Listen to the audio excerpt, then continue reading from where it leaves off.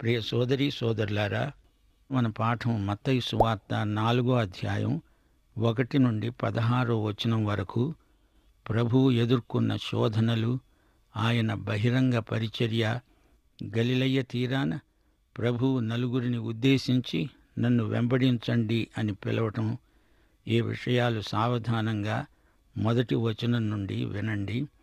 అప్పుడు యేసు అపవాది చేత శోధించబడడానికి ఆత్మ వలన అరణ్యమునకు కొనిపోబడ్డాడు. తన బహిరంగ సేవ ప్రారంభించడానికి ముందు యేసు బాప్తిస్మము తీసుకున్నాడు నీతిని నెరవేర్చాడు. తండ్రి పరిశుద్ధాత్మ కుమారుని బాప్తిస్మాన్ని తిలకించారు ఎంతో ఆనందించారు. ఇప్పుడు యేసు ప్రభు మూడు శోధనలను ఎదుర్కోబోతున్నాడు. శోధన అంటే పరీక్ష. బాప్తిస్మం పొందగానే శోధన. ఇది సైతానుతో యుద్ధం. అది బాప్తిస్మ నీతి. ఇక్కడ యుద్ధనీతిని ప్రభువు నెరవేర్చబోతున్నాడు. పాత నిబంధనలోని ఏలియాను చూడండి. కర్మెలు పర్వతముపై ఘన విజయం సాధించి ఎంతో ఉల్లాసంగా ఉన్నప్పుడు యజబులు ఏలియాను చంపాలని సూచింది. ఏలియా ఈ వార్త విని ఎంతో భయపడ్డాడు నిరుత్సాహపడ్డాడు. అదొక శోధన. శోధన పరీక్షలో గెలవడం శోధన పోరాటంలో విజయం మనకు ధైర్యాన్ని నిరీక్షణను ఉత్సాహాన్ని కలిగిస్తాయి.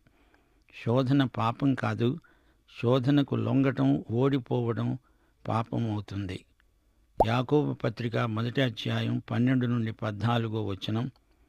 శోధన సహించేవాడు ధన్యుడు అతడు శోధనకు నిలిచినవాడై ప్రభువు తనను ప్రేమించే వారికి వాగ్దానము చేసిన జీవకిరీటము పొందుతాడు. దేవుడు కీడు విషయమై శోధింపబడనేరడు. ఆయన ఎవరినీ శోధించడు. గనుక ఎవడైనా శోధించబడినప్పుడు తన స్వకీయమైన దురాశ చేత ఈడోబడి మరులుగొల్పబడిన వాడై శోధించబడతాడు. సైతాను శోధించి మనల్ని పడగొట్టాలని చూస్తాడు. శోధనలో జయించిన వానికి జీవకిరీటం దొరుకుతుంది. శోధనలోని ప్రమాదాన్ని గుర్తించారా? లోకమును జయించే విజయం మన విశ్వాసమే. యేసు ప్రభువు శోధనలను జయించినవాడై విశ్వాసులకు మాదిరి వరవడి ఏర్పరిచాడు. హెబ్రి పత్రిక నాలుగో అధ్యాయం పదిహేను వచనం. మన ప్రధాన యాజకుడు మన బలహీనతల యందు మనతో సహానుభవము లేనివాడు కాడు. గాని సమస్త విషయములలో మనవలనే శోధింపబడిన ఆయన పాపము లేనివాడై ఉన్నాడు. ఆయన దేవుడై ఉండి శోధించబడడం మనకు విజయ రహస్యం ఉపదేశించడానికే. ఏదేను తోటలో ఆదాము హవ్వలు శోధనలో ఓడిపోయారు. గాని యేసు ప్రభువు గెలిచాడు. యేసు విజయం మన విజయమే. మతై సువార్త నాలుగో అధ్యాయం రెండో వచనం. నలభై దినాలు నలభై రాత్రులు ఉపవాసమున్న పిమ్మట ఆయన ఆకలి గొనగా అప్పుడే శోధన మొదలైంది. ఆయన ఆకలిగొన్నాడు సరిగ్గా అప్పుడే శోధకుడు తారసిల్లాడు. అన్నాడు నీవు దేవుని కుమారుడివైతే ఈ రాళ్ళు రొట్టెలవ్వాలని ఆజ్ఞాపించు. ఇదొక సవాలుగా విసురుతున్నాడు.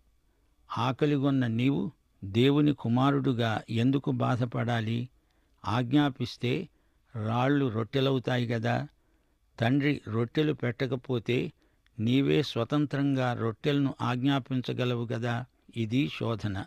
మతైసువార్త నాలుగో అధ్యాయం నాలుగో వచనంలో యేసు ప్రభువు శోధనను ఎదుర్కొన్న విధానం చూడండి. మనుష్యుడు రొట్టె వలన మాత్రము కాదుగాని దేవుని నోటి నుండి వచ్చే ప్రతి మాట వలన జీవిస్తాడు. సైతాను మాట కాదు యేసు తండ్రి మాటే వింటాడు. యేసు లేఖనము ఎత్తి చూపుతున్నాడు. రాయబడి ఉన్నది. ద్వితీయోపదేశకాండం ఎనిమిదో అధ్యాయం మూడో వచనంతో యేసు శోధనను ఎదుర్కొన్నాడు. ఆహారము వల్లనే కాక యహోవా సెలవిచ్చిన ప్రతి మాట వలన నరులు బ్రతుకుతారు. ప్రియశ్రోతలు సైతానీయ శోధనలను జయించాలి అంటే మనకు దేవుని వాక్యమే సాధనం. ఈ పోరాటంలో వాక్యాయుధాన్ని ప్రయోగించాలి. లోకజ్ఞానం ఎందుకూ కొరగాదు. ఆకలిగొన్న వానికి అన్నం అవసరమే. ఈ వాస్తవాన్ని ఆధారం చేసుకుని సైతాను శోధిస్తాడు. ఇది శరీరాశ అనే శోధన. ఆకలిగొనడం తప్పు కాదు గాని ఆకలికి సైతాను పెట్టే తిండి తినకూడదు. ఆదికాండం మూడో అధ్యాయం ఆరో వచనంలో సైతాను సర్పం శరీరాశతో ఆదాము హవ్వలను శోధించాడు. నిషిద్ధ ఫలాన్ని సైతాను ఈ రోజున యువతీ యువకులకు తినిపిస్తున్నాడు. విపరీతమైన శరీరాశలకు లోనై ప్రజలు పాపం చేస్తున్నారు. శోధనకు లొంగిపోతున్నారు. తండ్రి అయిన దేవుడు చెప్పింది ఇచ్చింది మనకు జీవప్రదం. అంతేకాని సైతాను మాట విని చెడిపోకూడదు. రాళ్ళను రొట్టెలుగా మార్చే విధానం సైతానీయమైనది. దేవుని మహిమను దొంగిలించటం సైతాను నీకు నేర్పాలని చూస్తాడు. లొంగిపోవద్దు. దేవుడు తినమంటే తిని బ్రతుకు వద్దంటే తినకపోయినా బతుకుతావు. గనుక నిన్ను బతికించేది తిండి కాదు దేవుని మాట తండ్రి నోటి మాట. శరీర శోధనలో ప్రభువు అఖండ విజయం సాధించాడు. సైతాను రెండో శోధన తెచ్చి యేసును ఎదుర్కొంటున్నాడు. మత్తైసు వార్త నాలుగో అధ్యాయం ఐదు ఆరు వచనాలు. అంతటా అపవాది పరిశుద్ధ పట్టణమునకు ఆయనను తీసుకొని పోయి దేవాలయ శిఖరమున ఆయనను నిలువబెట్టి నీవు దేవుని కుమారుడవైతే కిందికి దూకు. ఆయన నిన్ను గూర్చి తన దూతలకు ఆజ్ఞాపిస్తాడు. నీ పాదం ఎప్పుడైనా రాతికి తగలకుండా వారు నిన్ను చేతులతో ఎత్తుకుంటారు అని రాయబడి ఉంది. శ్రోతలు వింటున్నారా? అది దేవాలయ శిఖరం. నాలుగు వందల యాభై అడుగుల ఎత్తు. అక్కడి నుంచి ఎవరైనా కింద పడితే కింద దేవాలయ ప్రాంగణంలోని జనసమూహం మధ్యలో పడతాడు. యేసుప్రభు అలా జనం మధ్య పడ్డాడు అంటే అది ఆయనకు అవమానం. దేవాలయ శిఖరాగ్రం నుంచి దూకు నీకేమీ ప్రమాదం ఉండదు అంటూ సైతాను దేవుని వాక్యాన్ని ఏకరువు పెడుతున్నాడు తొంభై ఒకటో కీర్తన పదకొండు పన్నెండు వచనాలను సైతాను ఉటంకిస్తున్నాడు. వాక్యాన్ని కొంచెం మార్చి దానికి మరికొంచెం ఏదో చేర్చి వాక్యానికి వక్రభాష్యం చెబుతాడు సైతాను. నీ మార్గములన్నిటిలో నిన్ను కాపాడడానికి ఆయన నిన్ను గూర్చి తన దూతలకు ఆజ్ఞాపిస్తాడు. సైతాను నీ మార్గములన్నిటిలో నిన్ను కాపాడడానికి అనే మాటలను కత్తిరించి వేశాడు. ఇది నిజమా?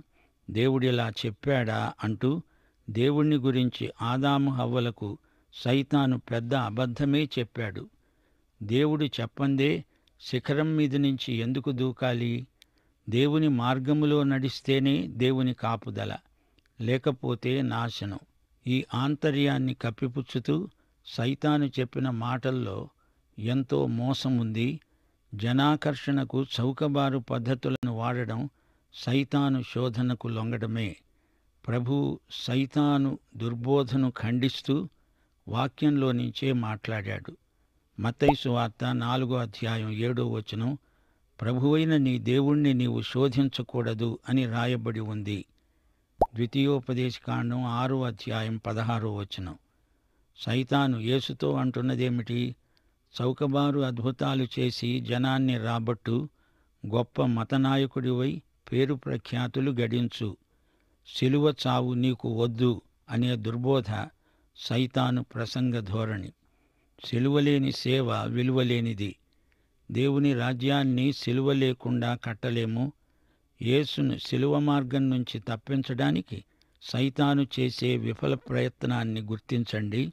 సిలువ దాకా వెళ్ళకుండా యేసును బాల్యంలోనే హతమార్చడానికి సైతాను హెరోదును వాడుకుందామనుకున్నాడు. కాని అది హెరోదుకే బెడిసి కొట్టింది. దేవాలయ శిఖరం మీద నుంచి దూకి చావడం సైతాను పన్నాగం.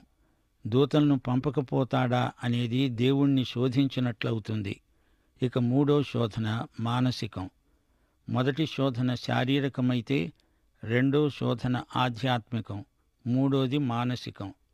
మత్తైసు వార్త నాలుగో అధ్యాయం ఎనిమిది తొమ్మిది వచనాలు మరల అపవాది మిగుల ఎత్తైన ఒక కొండ మీదికి ఆయనను తోడుకొని పోయి ఈ లోకరాజ్యములన్నిటినీ వాటి మహిమను ఆయనకు చూపి అన్నాడు. నీవు సాగిలపడి నాకు నమస్కారము చేసిన ఎడల వీటినన్నిటినీ నీకిస్తాను. శ్రోతలు గమనించండి యేసుప్రభు ఈ లోకానికి వచ్చింది దేవుని రాజ్యాన్ని స్థాపించటానికే.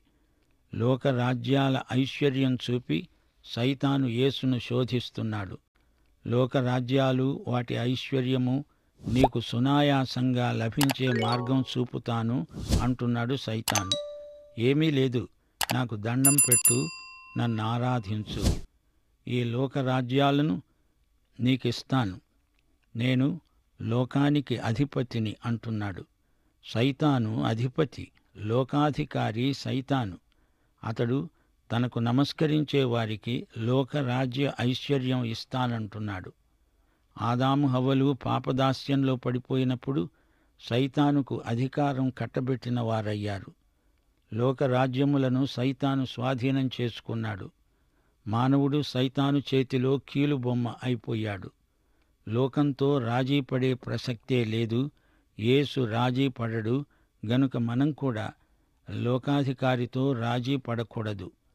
దానియేలు రాజీ పడలేదు. తన ప్రత్యేకతను కాపాడుకున్నాడు. ఇహలోక మాలిన్యము మనకు అంటకుండా జాగ్రత్త పడాలి. మనల్ని బట్టి దేవుని పరిశుద్ధ నామము దూషణ పాలు కాకూడదు. మనము బతికినా చనిపోయినా ప్రభువు వారమే. యేసు సైతాను సలహాను తిప్పికొట్టాడు. వాక్యముతోనే సైతాను నోరు మూయించాడు. సైతాను వేసిన అస్త్రానికి యేసు మహాస్త్రాన్ని సంధించాడు. మతైసు వార్త నాలుగో అధ్యాయం పదో వచనం యేసు సైతానుతో అన్నాడు సైతానా ఫో ప్రభువైన నీ దేవునికి మ్రొక్కి ఆయననే సేవించాలి అని రాయబడి ఉంది. ద్వితీయోపదేశకాండం ఆరో అధ్యాయం పదమూడో వచనం పదో అధ్యాయం ఇరవయో వచనంలో నుంచి ప్రభువు మాట్లాడుతున్నాడు. సైతానుకు దేవుని వాక్యంలోని వచనాలెన్నో తెలుసు. సైతాను బైబిల్ వచనాలను వల్లించగలడు. ఈ విధంగా అమాయకులైన విశ్వాసులను మోసం చేస్తాడు. గత శోధనలో యేసును మతనాయకుడివి అవు అన్నాడు. మూడో శోధనలో రాజకీయ నాయకుడై పోమంటున్నాడు. శారీరక ఆధ్యాత్మిక శోధనల్లో ప్రభువు దేవుని వాక్యాన్నే చూపుతున్నాడు. గేయకారుడైన దావీదు నూట పంతొమ్మిదో కీర్తన నూట అరవై ఐదో వచనంలో అన్నాడు నీ ధర్మశాస్త్రమును ప్రేమించే వారికి ఎంతో నెమ్మది కలదు. వారు కూలి తొట్టిల్లడానికి కారణమేమీ లేదు. కీర్తన నూట పంతొమ్మిది నూట ఐదో వచనం. నీ వాక్యము నా పాదములకు దీపము నా త్రోవకు వెలుగు. దేవుని వాక్యం నీలో నాలో సమృద్ధిగా నివసించాలి. దేవుని వాక్యానికి విధేయులమైతే సైతానును ఎదిరించగలం. సైతానును తరిమి కొట్టగలం మత్తైసు వార్త నాలుగో అధ్యాయం పదకొండవ వచనం. అంతటా అపవాది ఆయనను విడిచిపోగా ఇదిగో దేవదూతలు వచ్చి ఆయనకు పరిచర్య చేశారు. అపవాది కొంతకాలమే ఆయనను విడిచిపెట్టాడు. ఆ తరువాత సైతాను అడపాదడపా ఆయనను శోధిస్తూనే ఉన్నాడు. శోధనలో నెగ్గిన ప్రభువుకు దేవదూతలు పరిచర్య చేయటం ఎంతైనా ఆకర్షణీయమైన సన్నివేశం. ఈ దేవదూతల పరిచర్య రక్షణ అనే స్వాస్థ్యమును పొందిన మనందరికీ అందుబాటులో ఉంది. మూడు శోధనల ఘట్టం ముగిసింది. ఇందులో మనం నేర్చుకోవలసిన పాఠాలెన్నో ఉన్నాయి. గమనించండి సైతాను మనల్ని ఎప్పుడైనా శోధించవచ్చు ప్రమత్తంగా ఉండవద్దు. సైతాను కుయుక్తులను పసికట్టాలి. సైతాను కూడా దేవుని వాక్యం తెలుసు. సైతాను దేవుని వాక్యాన్ని చూపెట్టి పెడతోవ పట్టిస్తాడు. రాజీ ధోరణిని సైతాను నీలో ప్రకల్పన చేస్తాడు. విశ్వాసి ఎన్నడూ రాజీ పడడానికి వీల్లేదు. ప్రతిశోధనలో మనం దేవుని వాక్యముపై ఆధారపడాలి గెలవాలి. దేవుని వాక్యం నీ హృదయంలో ఉంటే పాపం నీకు దూరం అవుతుంది పాపం చేయకుండా దేవుని వాక్యం హృదయములో నిలిచి ఉండేలా చూసుకోవాలి సైతానులాగా దేవుని వాక్యానికి ఏదీ చేర్చకూడదు. దాన్ని ఏమాత్రమూ మార్చకూడదు. దేవుని వాక్యమును ఉన్నది ఉన్నట్లుగా నమ్మాలి. మనుష్యుడు జీవాహారమైన దేవుని వాక్యము చేతనే బ్రతుకుతాడు. మన దేవుడైన ప్రభువునే ఆరాధించాలి. మరి దేనిని ఎవరిని ఆరాధించకూడదు? ఆయనే పూజార్హుడు స్తోత్రార్హుడు. శోధనలో పడకుండా నిలిచి ఉండాలి. మత్తయి సువార్త నాలుగో అధ్యాయం పన్నెండో వచనం. యోహాను చెరపట్టబడ్డాడని యేసు విని గలిలయ్యకు తిరిగి వెళ్ళాడు. యోహాను బోధలు ఆ కాలంలో ప్రజలకు చాలా బాధగా ఉండేవి. ఉన్నది ఉన్నట్లు కొండ బద్దలు కొట్టినట్లు చెప్పే ప్రవక్త బాప్తిస్మమిచ్చే యోహాను.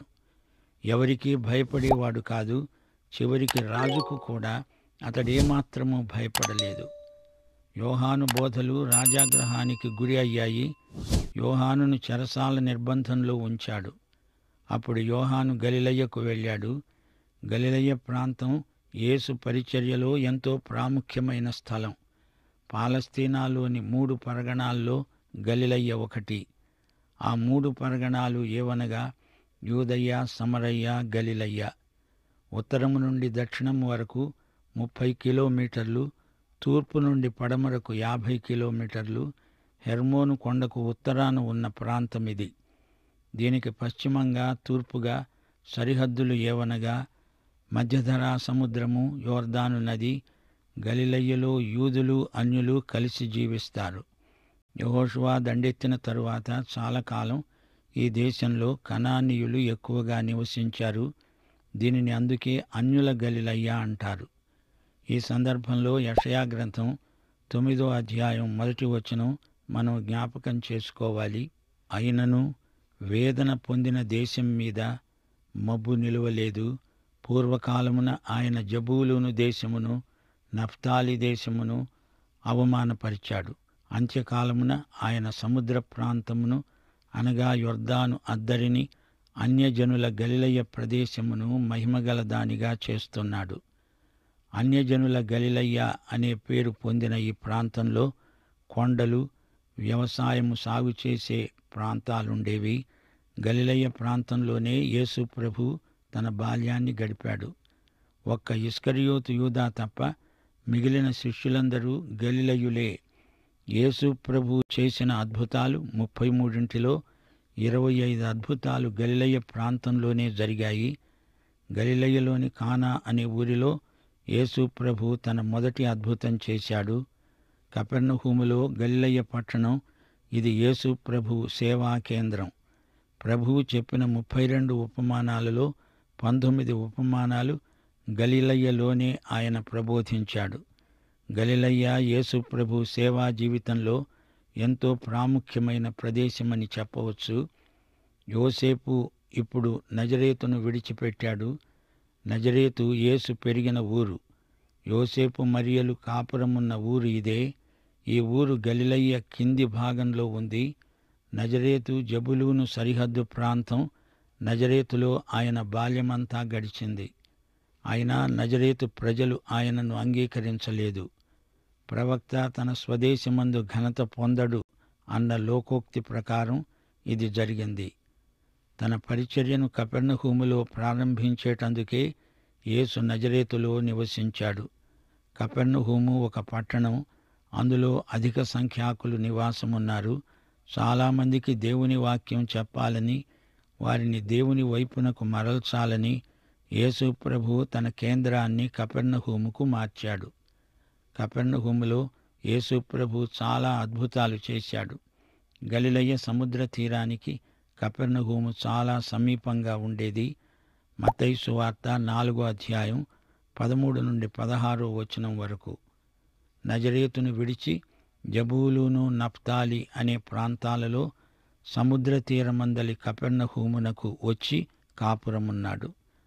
జబూలును దేశము నఫ్తాలి దేశము యొర్దానుకు ఆవలనున్న సముద్ర తీరమున అన్యజనులు నివసించే గలిలయ్య చీకటిలో కూర్చుండి ఉన్న ప్రజలు గొప్ప వెలుగు చూచారు. మరణ ప్రదేశములో మరణఛాయలో కూర్చుండి ఉన్న వారికి వెలుగు ఉదయించింది అని యషయా ద్వారా పలుకబడినది నెరవేరటానికే అది జరిగింది. ఆ ప్రాంతాలలో నివసించే అన్యజనులను వెలిగించటానికే యేసు ప్రభు వచ్చాడు.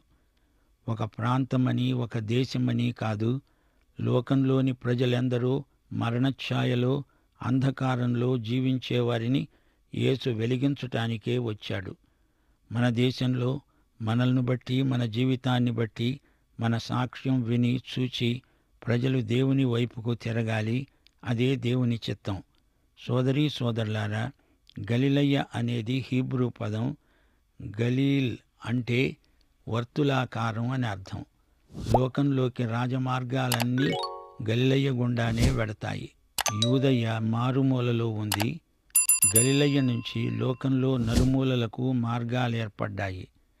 గలిలయ్య అంతర్జాతీయ కేంద్రం. ఆషేరు నఫ్తాలి జబులును గోత్రాలకు వచ్చిన వాటాలు గలిలయ్యలో ఉన్నాయి. యేసుప్రభు తన సేవా కేంద్రాన్ని కపెన్నహుములో ఏర్పరచుకున్నాడు. తాను ఎరుషలేముకు వెళ్ళి సిలువ వేయబడే వరకు అక్కడే ఉండి సేవ చేశాడు.